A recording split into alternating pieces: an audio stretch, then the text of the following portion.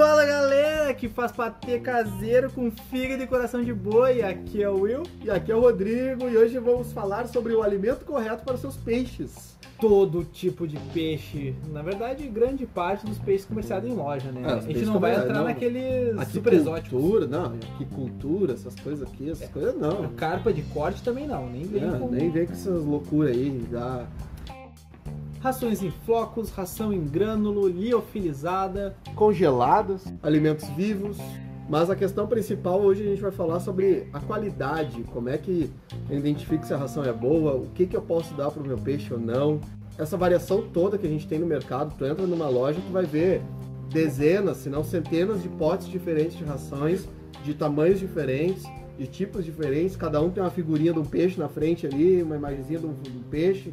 Qual que é a melhor ração? Por que, que aquela raçãozinha que custa R$ reais é muito pior do que a raçãozinha que custa 20. Tem um porquê disso tudo. Vamos começar com um exemplo básico. A ração mais comercializada hoje em dia para aquários é a ração flocada. E a gente tem muita variedade de ração flocada. Tem da própria Alcon, temos da Cera, temos da JBL, temos da Tetra. Basicamente toda a empresa de rações ela Ah, se a começa gente for botar, for botar as marcas aí, nós temos. Acho que hoje no mercado nacional, pelo menos, falar de água doce, porque marinho às vezes tem uma variedade um pouquinho maior, Sim. né? Mas se for botar aí, JBL, Cera, Tetra, Alcon, Tropical, Poitara, Nutricon, temos uma variedade, uma gama grande de tipos de rações e cada uma dessas marcas tem uma variedade grande entre elas próprias. E como que eu vou saber diferenciar qual é uma ração boa, qual é uma ração ruim? O que, que é o principal aspecto que eu tenho que ver para se essa ração é uma ração de qualidade? Acho que tudo começa na composição da ração. Tu vai pegar uma ração. é, hoje as rações nacionais, infelizmente, não tem uma qualidade que chega próximo às rações importadas, principalmente as grandes rações como cera e JBL. A cera, ela tem um desenvolvimento de matéria-prima muito forte, a matéria-prima dela é de excelente qualidade, algo que eu acho que para o mercado nacional, se fossem fazer com uma matéria-prima tão grande assim, tão de qualidade como as importadas, o preço ficaria muito mais caro do que as importadas.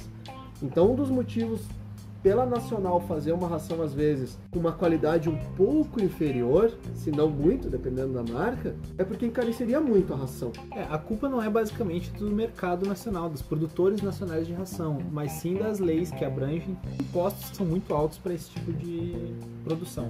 Não, porque a gente não pode acreditar que às vezes a, a empresa, a fábrica vai agir de má fé, não, vou fazer uma ração ruim Exato. porque eu vou fazer uma ração ruim. Não, É porque eles não conseguem. é porque encareceria absurdamente eles fazer, fazer uma matéria-prima de muita qualidade sem ter esse, esse recurso, né? Tendo que importar materiais, principalmente Exatamente. Tu pega rações da cera que os caras usam salmão, eles usam peixes de uma qualidade absurda para fazer a, a ração deles.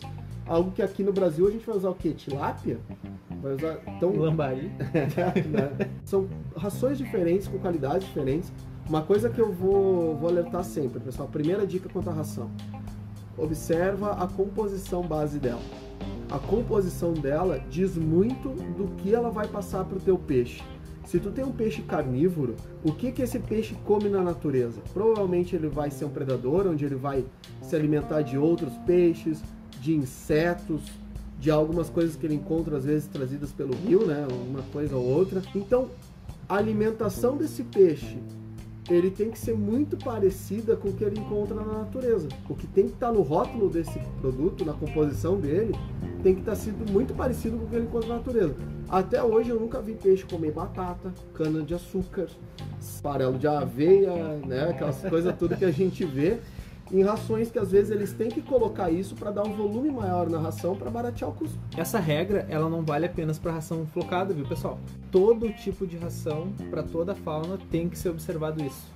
E por que que existe? Bom, a gente já falou, acho que a principal diferença entre por que, que a importada custa um pouco mais, E é uma qualidade melhor. tem uma qualidade melhor, matéria-prima muito melhor do que a da nacional. Inclusive, qualidade melhor, matéria-prima melhor, com poucos, às vezes poucos ingredientes, tu dá muito menos ração consequentemente alimenta muito mais o peixe, porque é aquela máxima, o que, que te alimenta mais, um prato de feijoada ou três de arroz? O que, que faz mais sujeira depois, né? A questão toda tá na quantidade versus a qualidade da ração, do que você vai dar pro seu peixe, seu peixe vai ficar mais nutrido, vai ficar mais colorido, vai ficar melhor. E agora, uma pergunta, por que que existe tantos tipos de ração diferente? Por que que tem focada, granulada, de fundo? É um motivo simples. Ah, As faunas diferentes de peixe, todo tipo de peixe, ele prefere se alimentar em um nível do aquário. Peixes de fundo, peixes de meia água, peixes de superfície. Então aquela raçãozinha, aquela flocada, que ele fala assim, ah, alimento base, realmente ele vai dar para uma grande variedade de peixes, porém não é para todo peixe. Se eu tenho lá o cascudo, se eu tenho uma coridora, eu vou precisar de um alimentinho de fundo. Eu vou precisar da ração que chegue lá sem os outros poderem se alimentar antes dela. Ou aquele peixe que fica no intermediário, mais embaixo, por exemplo, um peixinho de, de cardume, um neon, um peixinho, um rodóstimos, alguma coisa assim. Eu vou botar um grânulo. Ela tem uma função dela ser o grânulo. Seria Ela não é grânulo só porque ela é, simplesmente. Tem uma Exatamente. função. E o flocos eu vou dar para aquele peixe que é mais de superfície, que vai eh, uma molinésia, um platio, um, lebiste, um Coicerides em geral. que vai pegar em cima. E por que que tem as diferenças? Conta pro pessoal, por que que tem as diferenças da composição? Peixes, nós temos de diversos tipos de biótipos. Nós temos peixes carnívoros, temos peixes algívoros, peixes onívoros. Tem uma variedade muito grande de peixes. Eles se alimentam de coisas diferentes. Por exemplo, você não pode dar para ciclídeos africanos, como os malauis, muito conhecidos aí na, no aquarismo, que são peixes que se alimentam basicamente de algas, proteína mais vegetal. Se você der muita proteína animal, por exemplo, para o Malawi, é muito fácil ele ter o famoso Malawi bloat, que é um problema no intestino dele, porque o metabolismo dele não é feito para digerir proteína animal. Ele não é um peixe que vai se alimentar de outros peixes, basicamente. Então, no ambiente dele é basicamente algas. Assim como tu não vai pegar um Oscar e dar ração à base de vegetais para ele. É algo totalmente incompatível, tu vai perder esse peixe a longo prazo. É que nem você pegar um tigre e querer ficar alimentando ele com alface. Ah, o tigre vegano? O grande tigre de bengala vengano. Deus! Vengano. Vengano, é a vingança do tigre. Então, pessoal, os tipos de alimentos são de acordo para cada tipo de peixe. Vocês têm que ter uma noção do seguinte: peixe está no mesmo nível do que eu falar mamífero. Eles estão distribuídos pelo planeta inteiro. Cada tipo, cada biótipo é diferente, cada alimentação é diferente uma da outra. E as rações são feitas justamente para isso, para diferenciar o tipo de alimentação de cada peixe. Isso já é uma questão para vocês ficarem alertas, quanto também a mistura de peixe. Se tu tem que comprar muito tipo de rações diferentes para alimentar todos os teus peixes, é porque alguma coisa não está muito certa aí dentro. Aquário comunitário, por exemplo, tem gente que adora colocar carabandeira com king. Eu não entendo. Eu realmente não entendo. A alimentação é diferente, o pH é diferente, mas o pessoal ainda quer fazer isso. É tudo diferente. Então, pessoal, cuidado com aquários comunitários. Não é porque você tá com um peixe de pH 7.2 e outro 6.8 que você pode ter os dois no 7. Não, não é assim que funciona. Não. E não é certeza. assim que funciona com a alimentação também. Não é porque tu tem um carro a álcool e um carro a gasolina que tu vai misturar os dois e vai botar um litro cada um, né? Vai explodir. É, tá errado. Não vai dar Então, pra- uma coisa importante sobre alimentação, vocês têm que cuidar peixes que comam basicamente no mesmo biótipo, que se alimentem das mesmas coisas para evitar uma grande mistura de rações. Então, aquela coisa também cai por terra. Se, eh, diversifico aqui em seis tipos de rações diferentes para o meu peixe. Pessoal, você pode manter um peixe 20 anos comendo a mesma ração, se ela for adequada para aquele biótipo de peixe. Exatamente. Num rio, vocês veem por acaso, ah não, hoje eu comi um camarão, amanhã eu vou comer um outro peixe que está passando ali. Não. O peixe ele se alimenta basicamente sempre daquele mesmo quadro de alimentação. E agora a gente entra naquela sessão que todo mundo gosta. A sessão que gambiarra é coisa de. Né? Enfim. Fazem anos que eu assisto a TV, fazem anos que eu assisto YouTube, acho que qualquer um aqui que quando começou toda essa evolução da TV a Exato. cabo, aquela história toda, tem National Geographic, tem Discovery, tu tem vários canais da natureza aí que tu vê, mostra lá, né, o leão, aquela história toda, o leão, Sim. O leão Atacando, africano, né? exato, o leão africano, é, o leão africano que na África é conhecido só como leão, né? Toda. Até hoje eu nunca vi na minha vida sair um cardume de peixe da água e falar assim, ó, não, vamos cinco por aqui e sete por aqui e vamos matar aquele boi, mas eu quero comer só o coração. Isso é pro pessoal que faz patezinho. Eu, eu quero só o fígado dele. Então, se o peixe não faz isso, cara, não faz patê de coração e fígado dentro de casa. Se não é da dieta natural do peixe, para com isso. Não, não Errado. existe, não existe. O, cara, o peixe não come na natureza fígado e coração de boi. Pelo amor de Deus, onde é que ele encontra isso? Não tem, a não ser casos. A, a travessia do boi, né? é, ele vai atravessar casos extremos. e o assim. cardume de nenhum ataca ele, né? É, não, Direto é- no fígado. é realmente, porque lá onde nascem os discos, né? Lá nos Sim. igarapés, os discos selvagens, primitivos. Exato, os Heckel. É, desde os tempos das cavernas lá tinha um homem que ia lá e alimentava todo dia eles com fígado e coração de boi. Então por isso que Não, tem que mas- fazer o patê. Mas ele, ele fazia patê, né? Ele Fazia não dava patê. inteiro, ele tocava o fígado inteiro, ele. Exa- Não, não, sempre raspadinho. Exatamente. Não tem lógica, não tem lógica, meu querido. Compra ração, existe ração industrializada, a gente tá falando aí de tecnologia. E agora, pra quem quer saber aí, ó, que a gente sempre dá nome, né? Quem quer ração boa no mercado?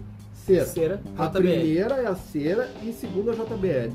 As duas estão assim, ó, sempre pau a pau. A cera eu acho que tem uma gama um pouco maior de variedades que são um pouco melhores que a JBL. E a JBL tem algumas rações específicas que são melhores que a cera. Mas tutando qualquer uma dessas duas, o teu peixe vai te agradecer. E a cera tá completando 50 anos, hein? O que, que isso tem a ver com a qualidade da ração? Eu não ganhei nenhum calendáriozinho dele. Pô, Cera, vamos A ajudar cera é aí, né? Nem calendáriozinho os caras estão mandando pra nós. Cadê a importadora? Ah, é, o, é o podcast da crítica. Mas- Esse é os podcasts que a gurizada gosta, né? É, não, essas partes, né? Eles vão ignorar os últimos a 10 gente, minutos. é a vão- gente que vai se dar mal e eles que gostam, né? Eles que ficam Exato. dando risada na nossa cara. Então, a dica é, pessoal, alimentação, sempre busque algo muito similar ao que o seu peixe encontra na natureza. Outra coisa, ah, eu vou dar têmia pro meu peixe. Dar têmia leofilizada. Não compra viva, não, tu não sabe a procedência, não sabe a nutrição daquilo.